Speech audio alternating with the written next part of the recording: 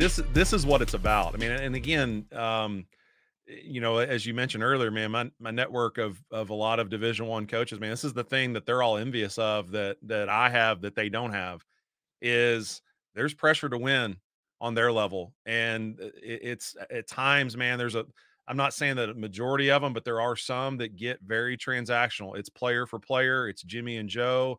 If you're not performing, you got to go.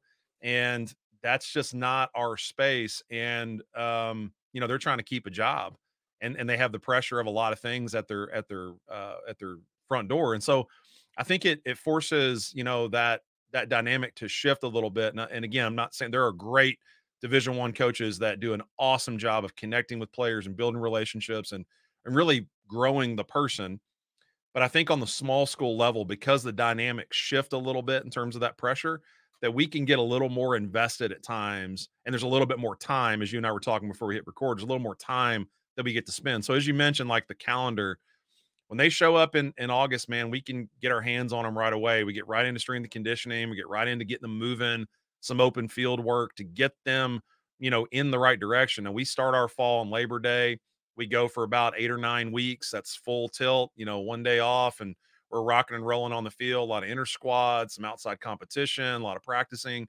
And the whole time, you know, of course, we're together. As you mentioned, that process in college, a little bit different than the high school experience. You're going to be with this group for nine out of 12 months for the next four years. Right. You know, so again, like when I always say this, when the when the kid's 24, 25, 26, and he gets married, majority of the time he's gonna have one or two high school buddies that are up there with him. But then it's eight or nine dudes that he played college baseball with. Like because 18 Back. to 24, that's where you grow up. It's where you figure out what kind of man you're gonna be and what your beliefs are, and you're away from your family, and it's it's a, an important time. But we do that. I mean, we're with our guys the entire fall. Now, again, going back to that care level piece, you know, we're with our guys in a lot of different ways, but, but in our program at Georgia Gwinnett, I firmly believe that if you build a better person, you're building a better baseball player. And so I take character and personal development. And again, I'm in the business of growing up men.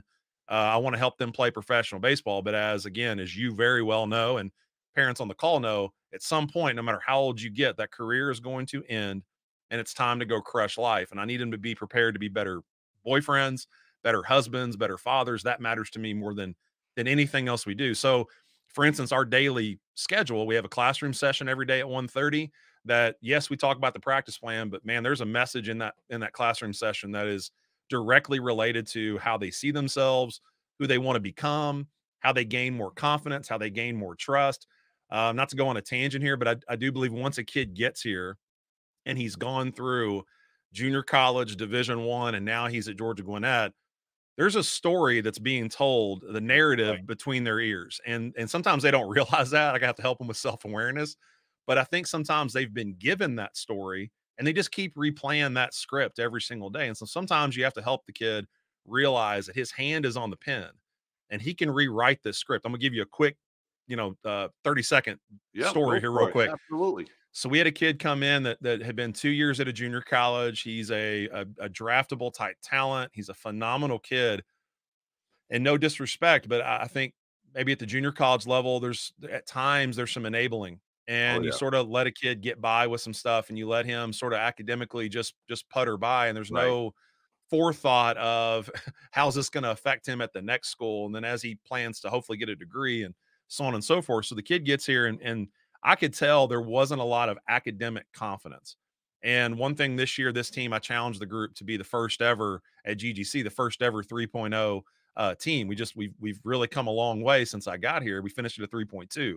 Now I wanted this kid to be part of the solution. Thank you. I wanted this kid to be part of the solution. And I said, man, I feel like you, you you don't realize how smart you are, but you don't realize that you can do this. And I'm not going to enable you and I'm not going to bail you out. And if you show up at a 1.2, I'm going to say, hit the road, man. I don't care how talented you are. We got to move forward.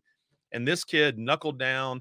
And uh, at first, the, the, the, Walter, the motivation was to get eligible. He's got to pass a lot of hours. He's got to obviously do well academically.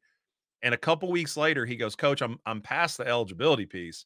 Now I'm doing this for me. I know I'm a better academic performer than I've shown, and I'm going to be better move forward. He ended the semester at a 3.5. Wow. That's a success story. And again, right. when you come back to like that was care level on our end, but that was personal development on a daily basis with him, challenging him to write his own story, to to make it end the way he wants to end, and he doesn't have to listen to that narrative.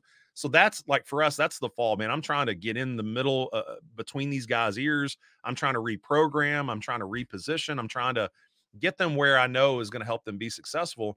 They go home for break, they come back, and as you well know, that January to to the first week of June is all the time, the grind every day, buses, home games, the whole thing. And um, it's nine months of, of pure bliss. I mean, when you're a lifer like you and I are, and, and I always say I got the sickness, like I I can't okay. see myself doing anything but being in that dugout. Man, there's no other place I'd want to be besides being with my family. And you look at it and you go, this is where, again, from a high school parent or player, you want this experience like you do, but you have to understand it's not a hobby. You know, you sometimes they play high school baseball because it's what they're supposed to do, or they've got buddies that do. This is where the passion and the hobby get separated. This is a passion for our guys. I don't have to text them and wonder if they're taking swings today.